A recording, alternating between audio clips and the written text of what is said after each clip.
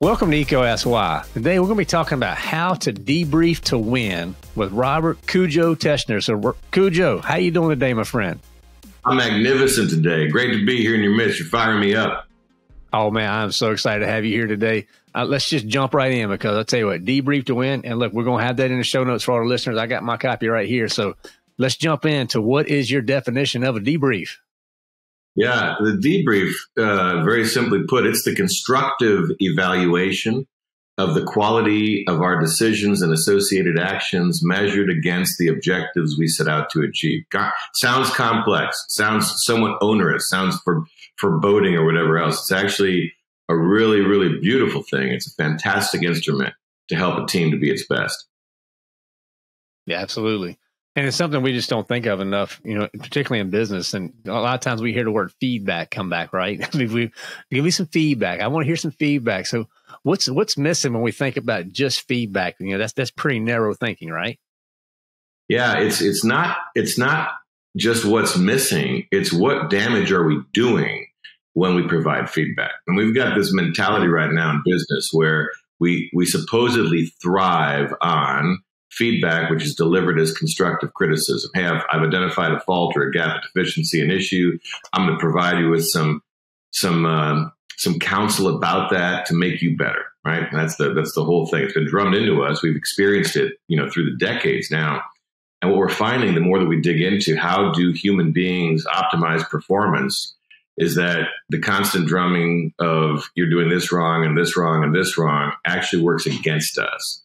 Uh, and so feedback can actually be poisonous. Feedback without clarity of what is the standard against which we're measuring, feedback without empathy for why it is that people did the things that they did in the context of doing it, feedback delivered absent uh, a clarity of what the grading scale is that we're measuring against, and feedback delivered one way.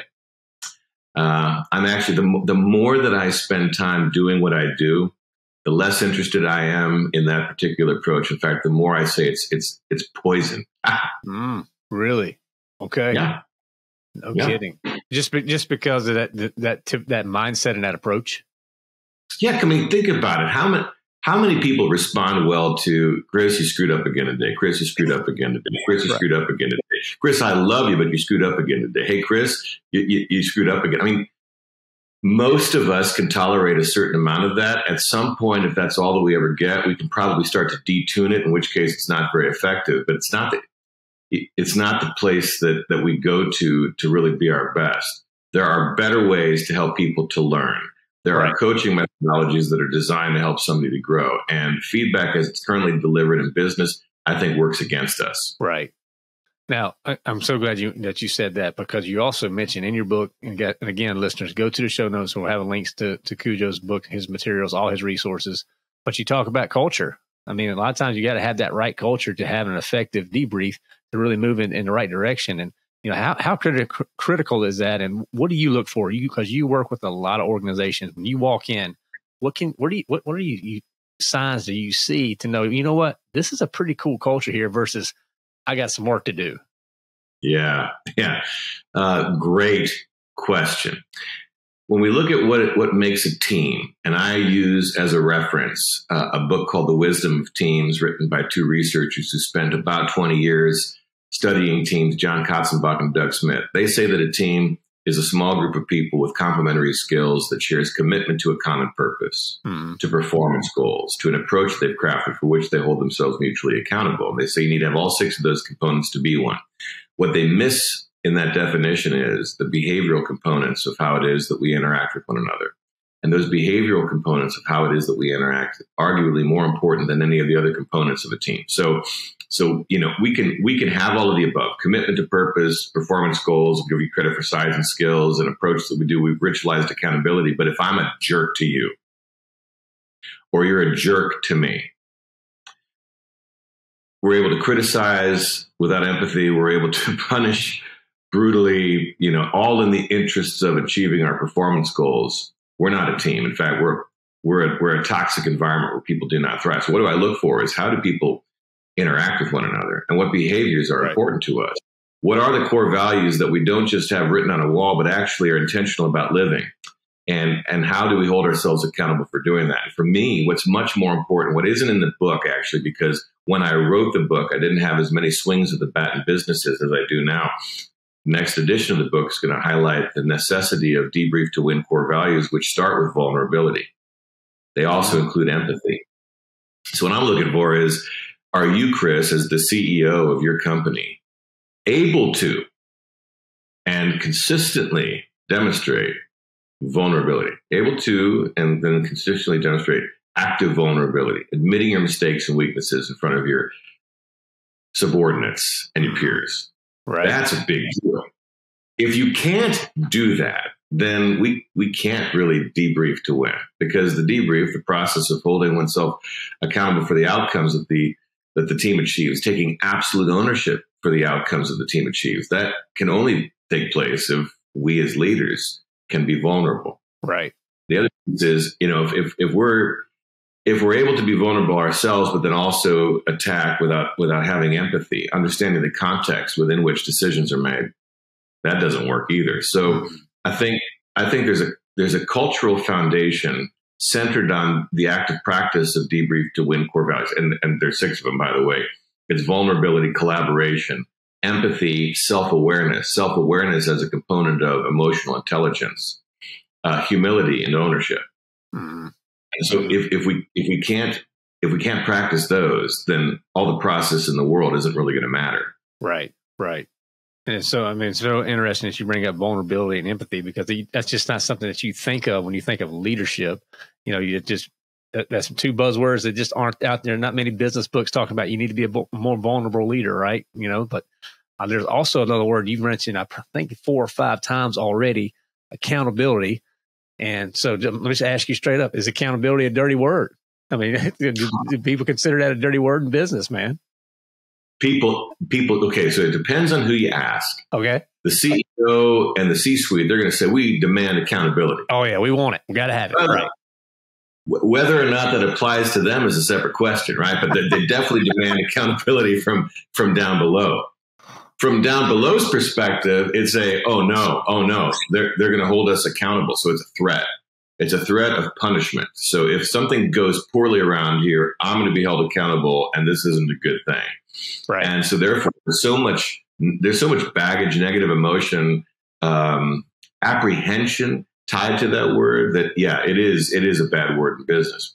The problem is it, it, it, it shouldn't be, not only shouldn't it be, it, ha- it has to be the opposite of that Right. The reason why the C-suite demands accountability is is that they're demanding performance, and so they see holding somebody accountable as a means of generating performance, and that's a fear-based approach. Okay, so just think about this this way: like like how do we inspire and motivate our teammates to be their best? Fear can do it for a short period of time. If you study right. fear, you'll find that fear can get you performance, but you're going to have that performance and then it's going to drop off pretty precipitously and very, very quickly. So then you ask yourself, well, then if fear isn't the way, and if using accountability and a fear based approach to drive performance isn't going to get us there, then then how else can we harness this thing? And my answer is we hold ourselves collectively accountable uh, for the good and the bad. And just the, the piece of this where we're talking about accountability for the good, that's a part that I don't know that we're harnessing so well in business. I mean, there's businesses that do a brilliant job of it, but I don't know that that most businesses do. I get a lot of right. feedback from business leaders who say we don't have time to hold ourselves accountable for the wins. You know, it's only we, we've only got time to dig into the losses, and right. therein lies the root of the problem. So I say, let's hold Chris accountable for the good that he's done which means let's go ahead and celebrate the fact that based upon the facts, we can substantiate Chris is the origin story to why it was that we won the contract, finished the project under time, made an X many million dollar, you know, boost over whatever. Let's let's make sure to make that a big deal about that. Right. Because because we're holding you accountable for the good that you've achieved. And that's that's a that's a great part of this. Then the other piece is when you're talking about, you know, dissecting a failure, um, holding ourselves accountable for a loss the question is do we blame punish or do we enter into a, into a different mindset? Do we coach for resilience to help the team to rebound from this, to help us to harness this loss as one of the best opportunities we've ever had? Right. And if we can go with option B, where the accountability isn't holding ourselves accountable in a punishment way, but really using accountability as a means to coach the team to have a better tomorrow, then we're onto something. Yeah. Right.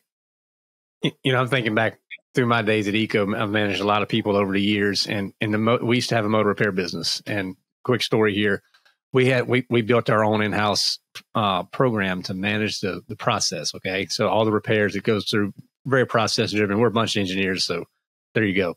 But we had a report, and we ran a report, and it was basically it would work off of this your standard hours you had to complete the task. This is how long it took you to complete the task, and you know you either came in above or below and then we would look at that for all the jobs. And I would run it, and the report was actually color coded. So when we really sucked, I mean, really sucked on a job, it would bleed red and this, it would pop up on the report. But inversely, we ran the report for when we crushed it and we made that, I think, blue or something like that. We color coded that. So when they come out and we, we expected, a, let's say, a margin of 20% and they rocked it and got somehow 50, you know, they, they really did good on their, on their time. That hit the report. And we would sit down as a management team, and naturally everybody would shut down when we when we started looking at the bad stuff. But when we actually looked at the good ones, man, we found out we learned so much about our team, about how we quoted, about what worked well, how we can replicate that on future jobs. And to the point where I almost completely just scrapped the bad ones because I just say, all right, guys, y'all know why you sucked on those jobs, right? Everybody's like, yep. All right. Now, how can we do the blue more? Right. So, I mean, it's just, I think that type of mentality for, was huge for us, but it wasn't natural. We had to get there to start thinking to look at the wins. And I tell you what, first of all, I love your approach. Clearly, clearly that approach was working for you. You can see why people enjoy digging into their successes. Highlighting folks for the good that they're doing happens to be one of those things that causes people to want to come back and keep on keep on doing more good. So so that absolutely makes sense. But if you think about the losses as well, and to say, mm-hmm. hey, you guys know, you know why it was, and we can move on. Great technique, by the way.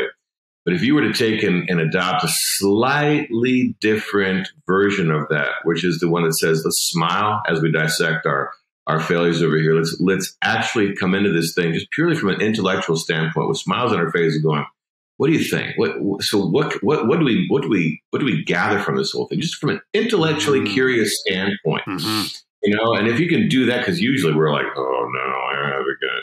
If we can smile as we're dissecting, intellectually curious to learn, to help us to, to ensure that we never lose this way again, right? I think it can also serve as well. The point of the matter is, we've been conditioned to criticize. Over time, it has been drummed into us to find fault. Mm-hmm. You give somebody the opportunity to provide feedback on something, I guarantee you they're going to be critical. Right. You know, and and then you ask people how how did that feel? And they're like well you know you're probably right. I probably i probably did do this wrong. I probably did do this wrong. But like you're you're basically you're basically attacking their soul. Right. And deep inside the place that none of us wants to admit exists we're going ah this, mm, yeah. and um, and i don't know that it's the best way. Leadership is situational. There are times to be hard. There are times there are times when the best way to address something is to say you will never ever right. do that again. Have I made myself clear? Chris is like, dude, I got you. I got you, brother. I'm like, okay, cool. And then we're done. And we're right, right back to whatever. But but by and large, the, the, the, the, mindset of constant criticism, yeah, it doesn't serve us. No, not no. especially not at a time when there are opportunities for people to go elsewhere and they're actively doing so.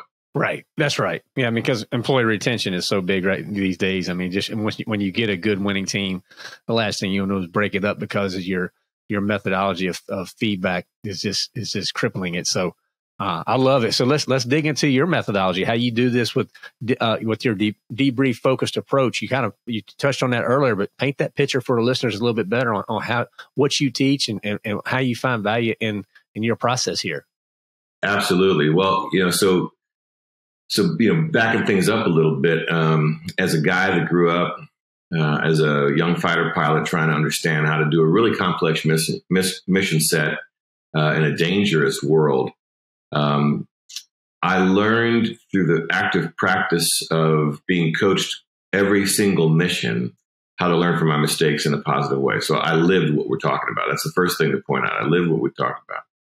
And in the process of living what I talked about, we're very intentional in a, in a fighter squad. We're very intentional about making sure that we're clear on what we're trying to accomplish. So we had absolute clarity of, hey, what is the mission today? What are the objectives? What are we, what what are the standards against which we're going to hold ourselves? And then, you know, what's the plan to achieve it? So we mm-hmm. we we set ourselves up to achieve success. Like there was no confusion in anybody's mind. There wasn't a hey, what does the boss want today? kind of a deal. And right. you know, is it possible for us to get it was absolute clarity. This is the mission. Here's how we're going to grade ourselves, and here's the plan that we've achieved or set up to achieve success. And then we went out there and, and tried our best to do it. And if I can pause for just one second, uh, I would tell you that what I've noticed in in business is a lot of times we lack clarity. Yeah, yeah. And so you got a team that's you know working out there, and they're like, I don't even I don't even know what what the boss really wants from me here. I just know we've got a deadline that's got to be done by this afternoon. So I'm gonna I'm gonna shoot from the hip here and hope that it's close enough, and you know, and that right. doesn't inspire people, right? Nope. So we had absolute clarity and we were very intentional. We had we had ways to plan and we had ways to communicate the plan so that everybody stepping out the door to go fly a mission knew exactly what we were trying to achieve and had confidence, by the way, that that success was achievable. And then you go out there and fly. And here's the thing that was interesting about the fighter pilot business: you had brilliant days where you were just on fire, like, and you had global situational awareness. You knew what was going on around you. You were processing, making intelligent decisions, you were on point. And there were days where you, you were just falling back to let me just aviate, navigate, and communicate. Let me just do the fundamentals to not crash or hit a mountain or do something else horrible. And you couldn't necessarily choose what day you were going to have uh, stepping out the door. Some days were great, some days weren't. And that's an interesting dynamic. There were some days when you couldn't do anything wrong. There were some days when you couldn't do anything right. And then you'd come back in and, and you'd learn from it. But the funny thing is, is that all of us knew that that was the case. We understood and empathized the fact that some days you were on and some days you weren't. And in the in in the debrief that we would conduct after every mission, our accountability practice that follows every mission, not just some of the missions, not just the missions that we have the time to debrief, every single one of the missions that we ever flew, we came in there not to attack, punish, crucify, blame, but rather to learn. So the intent was to learn, and the intent was to learn so that the next time we did this, the next time we flew a mission, would be better than this one. And so if you could visualize a circle, a circle that starts with planning, with a communication of the plan, with an execution phase where we're out there doing what it is that we said that we were going to do, and then a debrief or accountability phase where, where we're really learning. We're learning in a way that's we're coaching up our teammates so that the next time is going to be better. If we won today, we're going to win bigger tomorrow. If we lost today, we're going to bounce back and win tomorrow. That was the approach that we used day in and day out to be as tight as we could be, to be ready to answer the nation's call to go forth and to defend our, our country as directed. And I found it to be something that I took somewhat for granted when I was on active duty, but looking back on a brilliant approach to building teams that don't just win, but build the bonds of trust. Right. So I, I think back to who it is on the planet who I trust implicitly.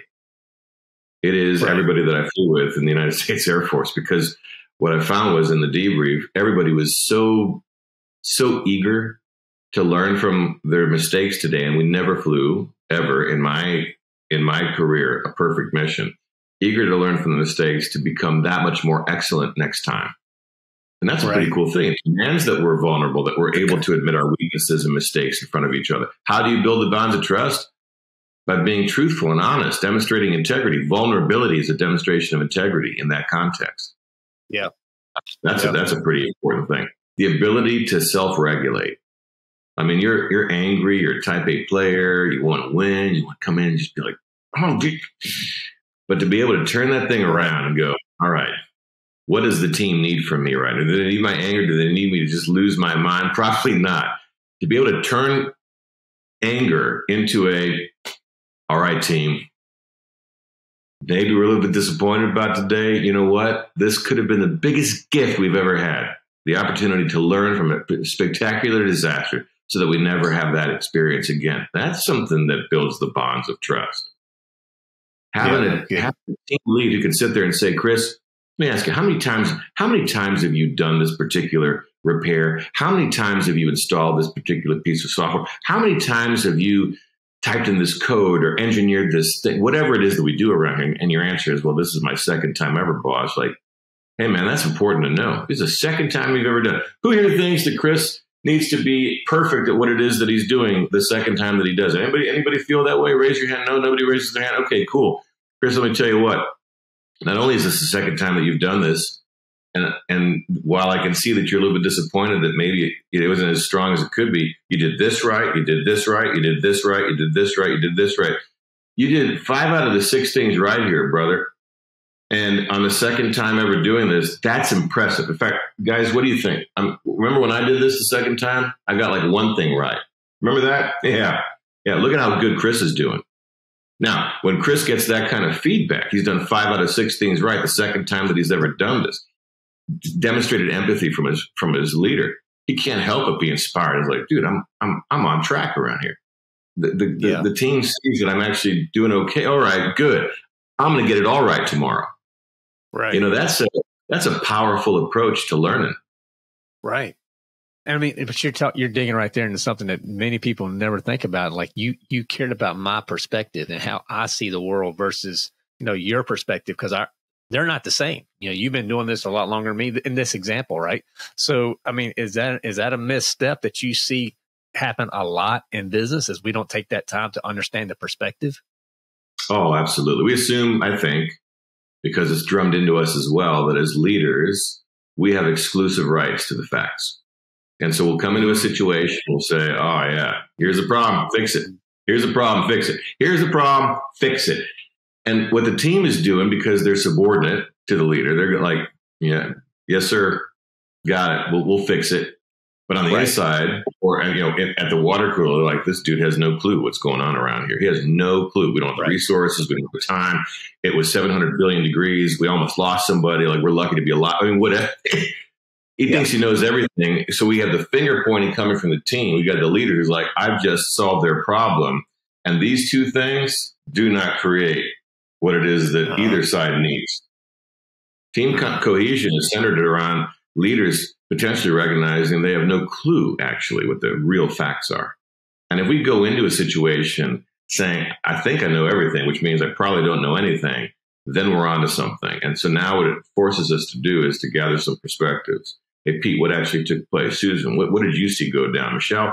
And now as we start to gather individual perspectives, we as leaders start to open our, our minds to the reality of what took place here. And then we suddenly go, wait a second, I've totally missed the mark. I had no clue that this was how bad it was for them. Actually, the, the real reason that they're not succeeding is I haven't equipped them to win.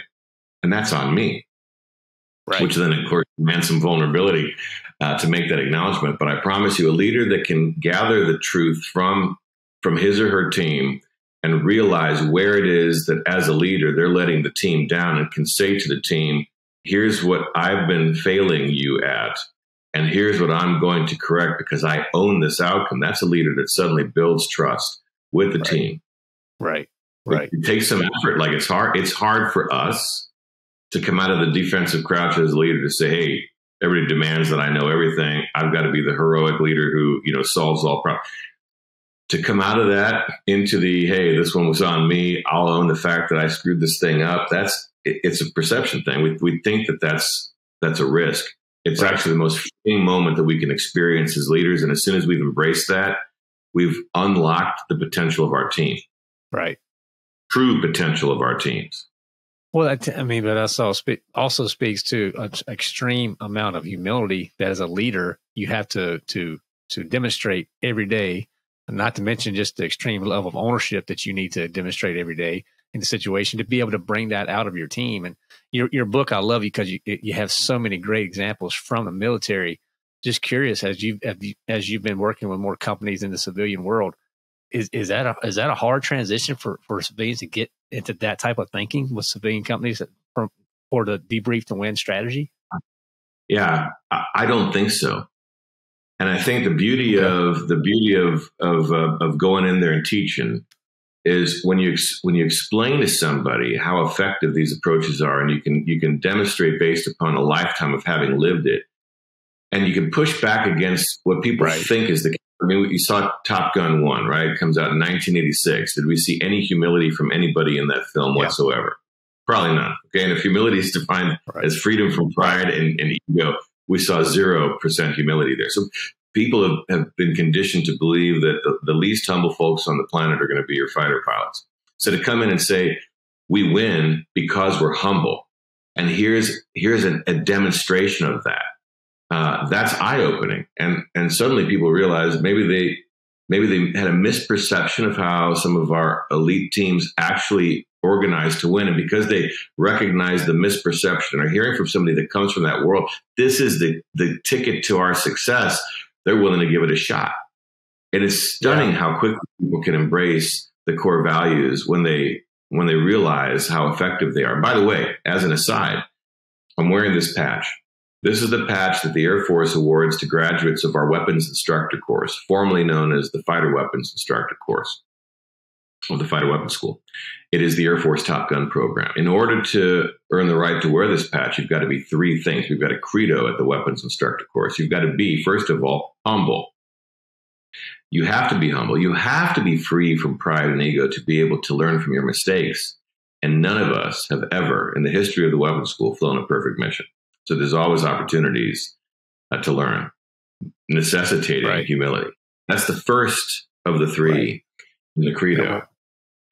And and here's the thing: if you if you're watching people that you look up to, and, and for me as a young fighter, pilot, I looked up to our instructor pilots. Those are the folks that had that had elevated to the level where they were teachers. Um, they were responsible for helping to shape me and, and my teammates to become our very best. When you saw them demonstrating humility. How could you not personally do the same? When the people that you looked yeah. up to were being vulnerable, not some of the times, not when it was convenient to do so for the messaging or whatever, but, but all, of the times. How could you not right. yourself be vulnerable?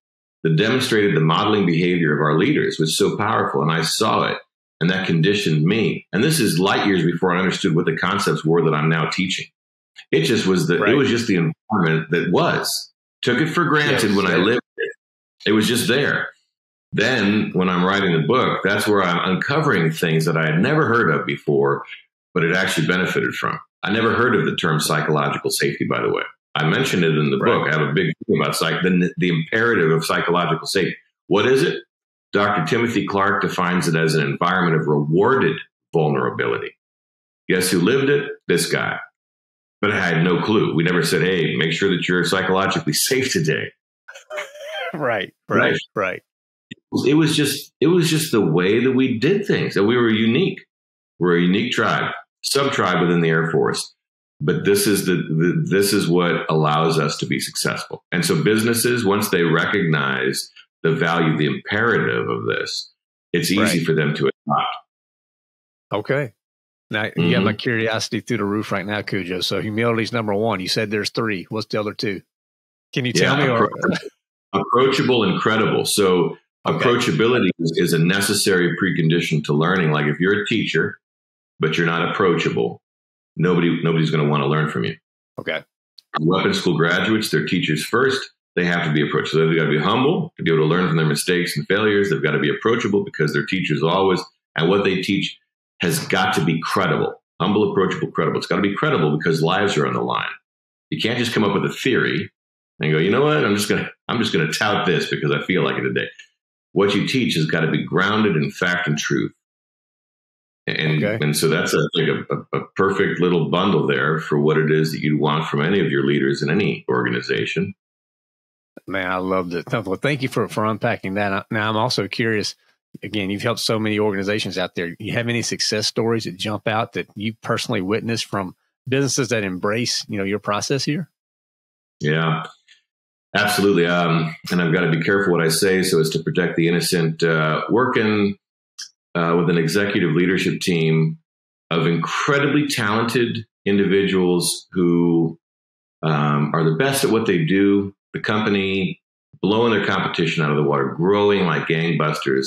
The only issue is, as an executive leadership team, toxic environment. Nobody wants to come to their meetings. Uh, mm. Everybody's poised. Everybody's poised to attack one another. They're waiting for the initial salvo so that they can launch a violent counterattack. Right. And who thrives in that kind of environment? So it's, it's a case where you can you can see the we can achieve material wealth and success. We can grow a company even though the core is not healthy. I wouldn't say rotten, but I would say not healthy. And it took a, it took, Uh, I guess, simple exposure to the reality of, hey, this isn't this isn't our our best. And by the way, if if we want to harness all of our skill sets, we've got to really learn how to team effectively. Because as good as we are, we're leaving performance on the table. Our behaviors are the key to unlocking who it is that we actually can be. Let's hold ourselves accountable for living these core values. It was a game changing moment for for especially a couple of members of that team who really needed to understand what right looked like. Nobody had ever showed it to them before, and that was right. that was a moving experience for me uh, to be just a small part of. Right, um, and then just a very practical experience of working with a with a group of people in another industry who probably weren't too excited to spend. And we spent one day eight hours digging into the core components of how to debrief to win, cultural and process. At the end of that time, revelations from several of the people that, yeah, this idea of being vulnerable is probably the piece that's missing from my leadership skill set, something that I need to, to bring on board. And that, that company takes off, height of the pandemic, in the midst of so many disruptions, turns their ship around and becomes so much more successful based upon the application of process, but also a little a little dose of, you know, I think it comes back down to being vulnerable, um, being able to say, "Hey, we're screwing this thing up, and, and the other thing, and it's on me, and you know, yeah. I'm going to take ownership of that. We're gonna we're gonna learn from this and have a better day." I mean, again, trying to protect the innocent so as to not you know give away any details, but but I'm seeing it consistently. This is this is rewarding work. Yeah and it's rewarding and, and it's rewarding like I hoped it would be because see, here's the thing, Chris, I had the benefit of living it. Right. I had the benefit of living it, so I know that it can be done. A lot of times people will ask me, is it possible, Cujo, in today's world to get to absolute ownership? Surely that's an impossible standard. I'm like, yeah, it is possible. You just you have to believe in it, and you have to also see what right looks like. Right. And once you've seen what right looks like, and you believe that you can achieve it, then man, it's it's an awesome transition. Yeah. Yeah.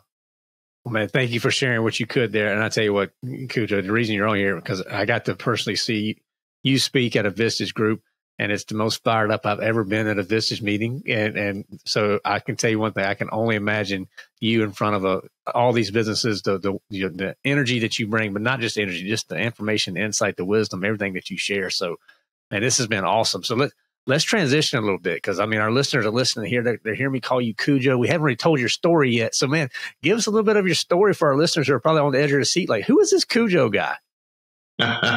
Clearly, he had some mean parents. Yeah, this Cujo guy uh, is a former classically trained, classically trained uh, violin and piano player. I uh, grew up with the Suzuki method of violin instruction. So when I was two years old, I was learning by ear. I still can't read music, but I can I can play music pretty well. Um, who evolved into lived in Germany. It was I went to German public schools. I used to dream and think in German, speak fluent German. Came back, went to three different high schools. Dad was in the Air Force, and so we moved all over the place. Um, but had this passion since four years old, since I saw Star Wars, uh, to be a fighter pilot.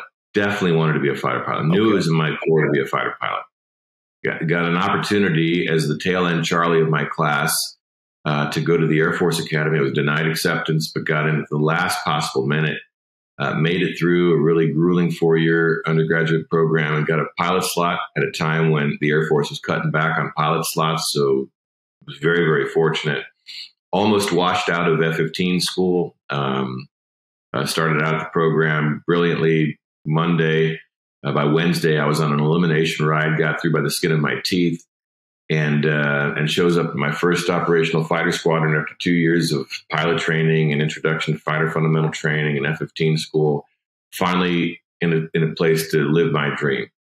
And uh, day one at the new fighter squadron, I was given a temporary call sign uh, of FNG3, say friggin' new guy three, because uh, there were two new guys ahead of me.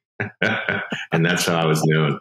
That's how I was known for the first six months of my uh, of my flying career. And eventually, uh, one afternoon, somebody taps me on the shoulder and says, "Hey, make sure that you're at roll call on on Friday."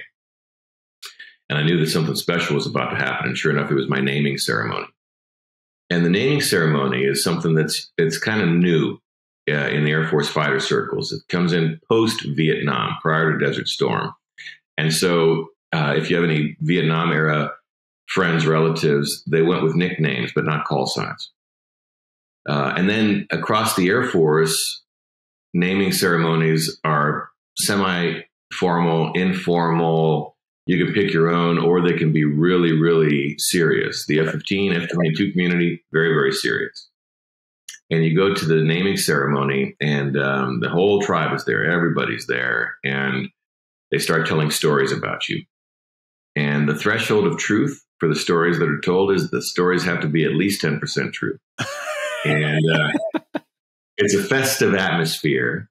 And if you, as the namee, can keep your mouth shut, not influence, not respond when somebody says, Hey, is that how it went? You know, FNG, if you can just sit there and, and be like, to the 58th Fighter Squadron with a smile on your face, you're going to turn out okay. Right. And that evening, the tribe got together, told a bunch of stories. Uh, they, based upon the stories that were told, came up with potential call signs. They whittled it down to two. They asked me which one I preferred, and they picked. Uh, I didn't have an input. They they picked uh, they picked Cujo. Not allowed to tell any of the stories that were told of my naming. Um, but I can tell you that the call sign that they awarded me is something very, very special to me and something I'll take for the rest of my life and, and ask people professionally to refer to me as. I prefer to be known as Cujo professionally. Right. A bit off putting in some circles, but most of the time people embrace it. Uh, it is kind of a unique moniker, but that's how we know each other in the fighter business. Um, you could tell me, hey, uh, I ran across a guy named Brad Ertmer the other day. Uh, you ever fly with him? Like, I don't know if I've ever heard of. It's one of my best friends of all time. But if you if you were to say, hey, I saw a Mute at the airport the other day, I'm like, how is that son of a gun? You know, I mean, we know right. each other by our call signs, not by our first names, and so so it's a pretty cool tradition, and it's one of the many things that we've done to build the bonds of cohesion um, camaraderie and trust in a fighter squadron. And I think I think done well, it works very effectively. Right. Now, so keep keep going because right now you're you're VMAX group. So get get us to how did you get to where you're at right now? Yeah. So I have the opportunity, the privilege to attend the uh, Air Force Weapons Instructor Course, Fighter Weapons School, the Air Force Top Gun program. Um, I graduated uh, and, and got invited back as an instructor. So I got a chance to teach there. Uh, that was all in the F 15 uh, Eagle, the single seat air superiority version of the F 15. Uh, did some staff assignments, got some degrees, came back and transitioned into the F 22 program, got a chance to fly the Raptor. Uh, so, a fifth generation, invisible to enemy radar aircraft, brilliant machine. I mean, it's just a, a it is a supreme airplane. Uh, such an honor to be able to fly that. And my career is going uh, going pretty well. Um, very satisfied with how things are going. Have some. I get married along the way to the beautiful Miss Diane. We start having children. Uh, at the point where she's pregnant with child number four, I'll get diagnosed with colorectal cancer. Mm. And in that moment, in that moment, we find out who we really are. It turns out that all of these years of living the fighter pilot lifestyle served us incredibly well my wife and I, the first thing that we did after the diagnosis of, hey, we found a tumor in your lower colon, I think it's been growing for a decade. Um, it's going to take us five days to get the biopsy results. We don't know in that moment if it's days, weeks, or months uh, left to live. And again, six months pregnant with our fourth child, dicey time for uh, for Diane for sure, and for the baby. First thing we did in that moment was we went to have lunch. I was starving from the colonoscopy prep. Diane was always starving as a, as an expectant mother. And at lunch, in a little cafe in downtown Stuttgart, Germany, we looked at each other and affirmed that our story just got better. And it's funny looking back on that. That was an instinctive move. Mm-hmm. Like there was, there was no, it was not like let's try to like create something that if we live through this, we could you know write down and make a big deal about, make you know a lifetime movie or something. Um, it was instinctive to say, "Hey, we just took a huge hit. We're still going to win." Why? because it's the mindset that we have in a fighter squadron. Nothing ever goes according to plan. Mm-hmm. And, and, as I mentioned, we're very intentional about building plans, but but we do that, and part of the planning process is to think through all the things that could go wrong. We anticipate things going wrong. We don't anticipate mm-hmm. things going right. We anticipate things going right. And we love being able to tell the story of how, despite this problem, that problem, the other thing, we still came out victorious. If you had to pick between two stories, the one where everything went according to plan and the one where everything didn't, you still won, that's the one that people want to hear. Right. And so what was funny, and I, I could kind of see this from from the vantage point of somebody looking down on us, I had this kind of third person uh, view of we're living the fighter pilot experience still in this moment and it's serving us so well. We needed that boost in that moment. And we set a mindset, my wife and I did, that we're going to do everything in our power. And there's so much that's out of our control here. But whatever it is that we can control, we're going to harness to make sure that we make it the best story possible. Mm-hmm. And in that moment, my wife and I, we, we got closer mm-hmm. than we'd ever been before. And in that moment, uh, we started to laugh. I think the two of us laughed more during the worst phase of my physical life than at any point previous. We laughed about almost everything. I mean, we laughed about the pain, we laughed about some of the loss of pride from the tests that had to be done. I mean, just you name it, we laughed. And it was in that laughter that we found hope and we found togetherness, and it was awesome. Uh, it's also because of because of the cancer that I'll have to shut down my Air Force. I, I shouldn't say have to. Uh, chose to reduce stress in life by leaving the Air Force and falling back to St. Louis and and starting a new life. Uh, and and so that was a that was actually there was so much good that came from that journey, and I'm very very grateful for it, and always will be. And then that leads to the pivot into entrepreneurship. Part of a couple of companies that don't quite pan out. Uh, and what I find is a constant thread about the two companies that don't pan out uh, they're not really practicing the teamwork principles that we had in the fighter squadron, and the accountability piece is lacking.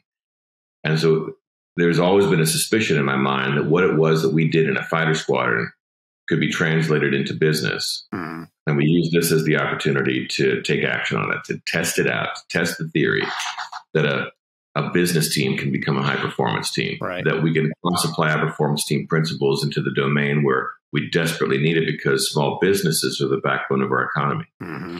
And that led to the creation of VMAX Group. And here we are today. Man, what a powerful story, Cujo. I mean, thank you so much for, for sharing it, for, for being so vulnerable. I, I've heard your story. I was hoping you, you would share the details you did. So, man, just what an incredible, incredible journey that you've been on. I cannot wait to see where, where it takes you next. And uh, just, just a testament to you and your leadership. And, uh, you know, that's, that's a, I'm at a loss for words, really, my friends. So just just thank you again. And as someone that is transitioning, you know, we we we do serve a lot of military here on EECO Why, and would love to, to to get advice from people like yourself who have have made that transition from the military to the civilian workforce. Any advice out there uh, that you would that you would offer up for someone who is making that transition on, on what maybe work, uh, worked for you or helped you? Absolutely. But before I get to that, if I could, yes. thank you Thank you very much for the kind words. I'm going to, in turn, uh, send my thanks back to the people who trained me.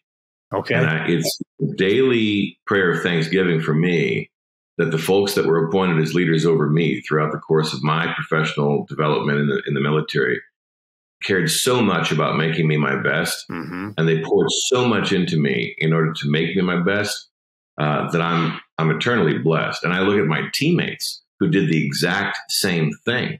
I mean, we're talking about nameless kids who will never get any recognition anywhere, who, as a instructor pilot in the F-15, were there at two o'clock in the morning teaching Cujo, young Cujo, how to have the right mindset to bounce back from a particularly horrible day at a time when you're not you're not doing it because you're getting paid extra. You're not doing it because you're going to be celebrated for it. It's just the right thing to do. I benefited from that. I benefited from that professionally, but then also personally the mindset that my wife and I got, it wasn't ours. Right. It wasn't something that I was born with. It was something that I was trained to as a fighter pilot. It just happened to serve us so well. So I thank in turn those who who gave me that gift. And then to those who are making the, the transition out, here's something that I'm I'm very, very passionate about.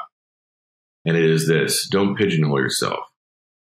Don't assume that you can only do X, Y, or Z because you've never done A, B, or C before. You have. You've done everything that's needed of you in a civilian business. We just we just have to translate the names and the nomenclature, the verbiage, maybe soften some of your approaches just a touch. Right. But what you do have, without a doubt, and I don't care if you're somebody that served in the Marine Corps for only four years and are now walking out of that thing into into life you know how to team, you know how to lead, you know discipline, you know the centrality of a mission. You've got so much that has been mm-hmm. instilled in you since day one of boot camp. And if you can take and harness just a little bit of that to the extreme benefit of your teammates and whatever else it is that you do in life, oh, you're going to be a treasure. So don't pigeonhole yourself. Don't just assume, well, I was trained on X, Y, or Z, or I'm just a. Don't don't right. sell yourself short. You are a leader. You are a team leader. You're an outstanding teammate that's got so much goodness to you. Sky's the limit. You pick what it is that you want to go dominate and then do so.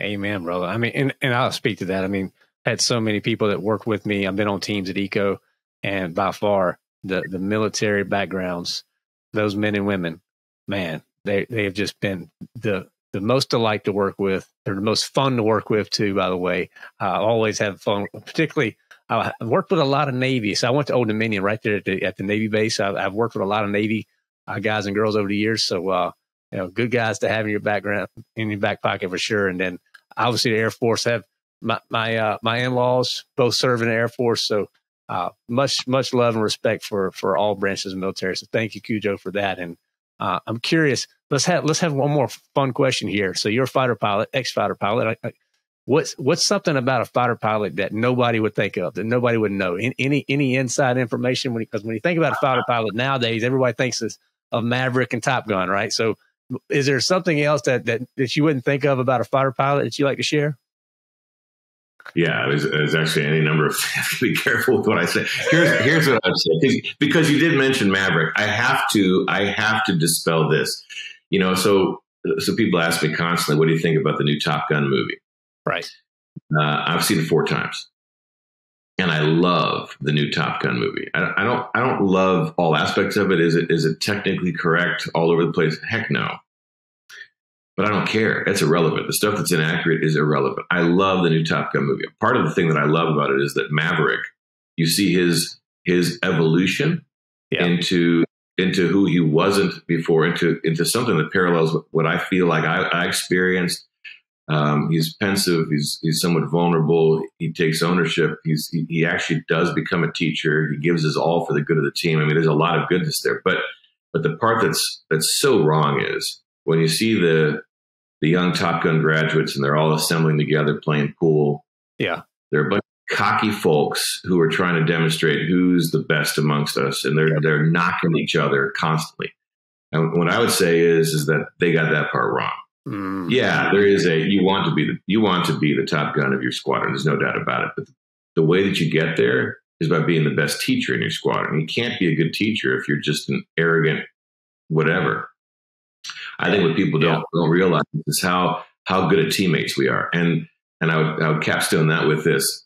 Um, I was part of many squadrons in my Air Force career, but uh, recently the 27th Fighter Squadron, America's oldest fighter squadron, based at Langley Air Force Base in Virginia. The year group that I was there for, you know, plus or minus a year or two, had a reunion. We went to Las Vegas. Uh, we did that because there was entertainment options and whatnot. Found that most of us didn't take advantage of any of them. We we got together. Why? Because we missed each other. It was an inconvenient weekend. Everybody was busy as all heck, but we just missed each other. We missed yeah. being together. And it, for me, it was about 19 years since the last time I'd been with that group of people. That was far too long. We teamed so well. It was like yeah. we were just together yesterday. The stories immediately took off again. It was such a brilliant thing. And my wife misses those people. I mean, I was gone constantly, always at the squadron, always teaching, always. She misses being with them. And it's because we become a family. We are so tight that we are a family, uh, and families need to get together again. So maybe, maybe that's my my insight for yeah. it. The movie gets it wrong. We're we're dear, dear, dear friends because of the experiences that we share and the amount of time we spend together. Right. I love it. Thank you so much for sharing that. And Uh, last question about VMAX, and then we'll, we'll, have a little fun here at the end. But at the work that you're doing now, Cujo, when do you get the most fulfillment? You know, where, where do you find that joy at? I get the joy when somebody reports back, Cujo, you have no idea how big of an impact you've made on my team. And they might offer some details about the good that's happened, but when they come back and say, You're doing epic work, don't ever stop doing this, that gets me fired up. I hate missing my family. I hate being on the road as much as I am. I detest airports and airlines and hotels and rental cars and all the rest of this stuff. And I'll do all of that to continue to make our purpose come to life, to do good for teams and to help them to be their very best. It's worth doing. That is amazing. Well, let's have a little fun here at the end of, of our of our conversation, Cujo. Let's let's talk about you outside of uh, Air Force, outside of VMAX. Just what do you enjoy doing for fun? You got any hobbies you like to share? Yeah, it, it, my perfect day would involve it always being Friday, Friday evening, having the band together, literally in the basement. I'll be on bass guitar. We've got a good drummer. We've got a good lead vocal. We've got a good lead guitarist. We're playing 70s and 80s rock music uh, with a little with a little concentration on uh, on U2. Oh, that would be perfect. And then to be able to take and and, to, and to put, on, put on a performance in the backyard for a bunch of friends. That's what I'm talking about. Yeah, I love Man. playing music today, and I love I love playing music with other people. I love being in a band, even if even if the music isn't perfect. Uh, bringing joy to people, watching them dance and sing along. That's that's powerful stuff. All right, all right. Now, just so you know, our executive producer here on the show, Adam, he's a, he's a big time drummer and guitar player as well. So if you need somebody, you know, I think you can we can we can fly him right up there wherever you need, man. He can be a stand-in for you. I'll come in and uh, you know I'll fill your, I'll fill your cups up in between songs. How about that? You know, but uh, okay, good. Percussion session is set. Nice. I love it. That's it. That's it. That's it. Well, we also you mentioned we, we love hearing about family on EECO Ask Why. You mentioned was it four children that you have? So now we've got five. Nicholas uh, comes to us post Air Force. He was born here in St. Louis. Okay, okay, 5 mm-hmm. children. Wow, that's amazing. And what's what's the age range here? Yeah, so um, so our oldest just turned 17. We've got 14, 11, 8, and 5. So we've we've had youngsters in the family for quite a quite a while, and as I'm reminded by the older kids, um, you know, I'll be in a wheelchair when Nicholas is out there playing baseball somewhere down the road. but I will say, I will say this: as we're going through all the uh, the craziness of the sort of cattywampus last couple of years, uh, having this brood has been magnificent. And uh, my wife and I constantly comment on what a joy it's been to have just a, a group of people that we can fall back to and be together with as the world loses its yeah. mind. You know, we're still here together. And I'll also emphasize this: maybe someday one of one of my children stumbles across this podcast. I want them to know how much they touched me.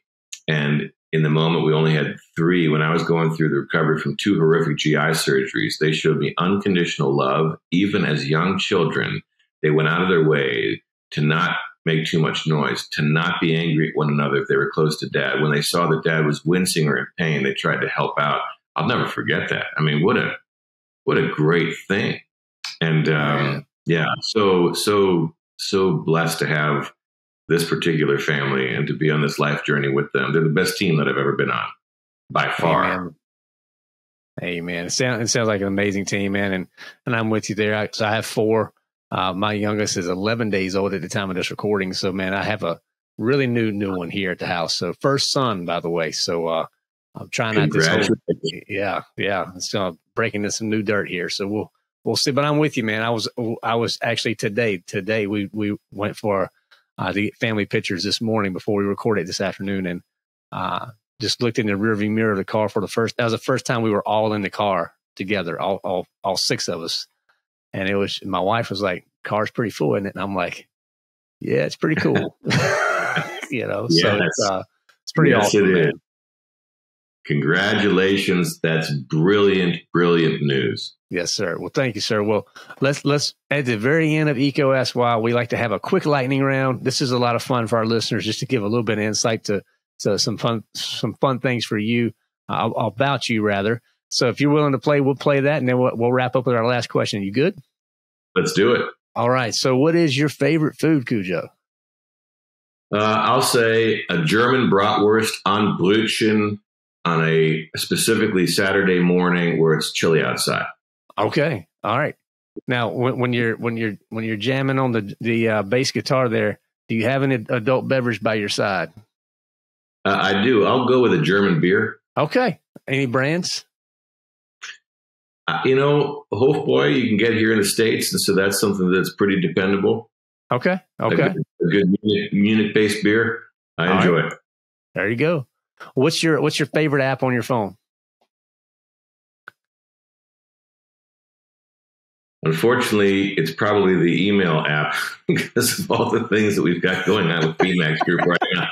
It's, I don't know if that actually counts. Probably my second favorite is my Whoop app, uh, track of uh, of health and fitness. There you go. okay, there you go. There you go. So, so, so speaking of health and fitness, do you have any guilty pleasures? oh man, yeah, my nutritionist is probably going to come across this thing. Uh, you know, I I probably don't eat as, as, healthy as I ought to. I love myself some good ice cream. I specifically like a coffee flavored ice cream with uh, with mocha chips in it, and I can eat that thing breakfast, lunch, and dinner. Man, I hear you, buddy. I hear you. Now you, you mentioned how much you. that's right. That's right. you mentioned earlier that you're a big fan of you, you do like the Top Gun movie, but what is your favorite movie of all time? Is it Top Gun or is it something else? It's a Wonderful Life. Uh, Frank Capra. Um, yeah. I think that movie is just such an epic, epically brilliant film. Ends on such a positive note. Love it, love it, love it, love it. Followed closely by the natural director's cut. Ah, okay, okay. Now, it's a Wonderful Life for me. Every year, that's uh, Christmas Eve. That's what I have on. Uh, watch. I, one of the stations always plays that, but I, no matter what, I find it, and we're going we're going to watch that every year. So just love the story, no doubt about it. Exactly. So what's uh? Let's let's do a couple more. You mentioned you're a big music guy. So what is your favorite band of all time? U2. Uh. I came up, uh, you know, following them in the '80s. Then I got a chance um, to start to start going to their concerts, uh, and I've been going to their concerts across the world. Uh, I was there at Camp Nou when they kicked off the U2 360 tour, 92,000 people uh, there in Spain. My brother flies in from San Diego to join me. It was just so neat. And, you know, through the years, we've been through as many concerts as possible. Busch Stadium was a brilliant one also on the 360 tour. So being in St. Louis at the home of the 11 time world championship Cardinals, uh, watching them play music was epic. Nice. And they're so good live. Nice, nice, awesome. Well, last question in our lightning round, Cujo: dogs or cats? Dogs. Okay, there was only one right answer, and you got it, man. So that's you, passed. I'm that. actually, I'm actually shocked that there was a cat category. All right. that's right. That's right. Well, Cujo, this has been an absolute uh, just a blessing to have you here we always we call it EECO ask why we wrap up with the why sir so you know let's, let's just go back a little bit so why is knowing how to uh, and implementing the process of debrief so critical to business success in the future yeah accountability is the core of, of teaming done correctly if you don't practice accountability well you're not a team mm-hmm. and so if, if if you organize as a team to accomplish your work, which I think most businesses do, then you've got to get accountability right. Right. Right. Well, Cujo, this is again, thank you so much. Where where should people go to connect with you to learn more about VMAX? You, you give a shout out a shout out here. We'll make sure we put that in the show notes for our listeners. But where do you want them to go, go to? Yeah, I think if you want to learn more about me, it's robertteschner.com. Uh, okay. Last name is T E S C H N E R. Um, but that's also going to lead you to the company, VMAX Group. And if you just want to go there, VMAXGroupLLC.com and there okay. it outlines what we do and how.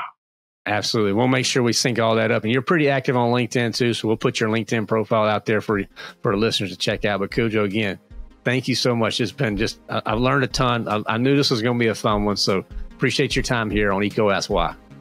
Thank you, Chris, for the privilege and the opportunity to be able to speak to your listeners. Brilliant job on the work that you're doing in the world.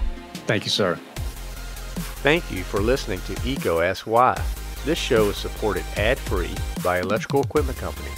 EECO is redefining the expectations of an electrical distributor by placing people and ideas before products.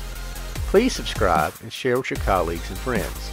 Also leave comments, feedback, and any new topics that you would like to hear. To learn more or to share your insights, visit eecosy.com. That's E-E-C-O A-S-K-S W-H-Y.com.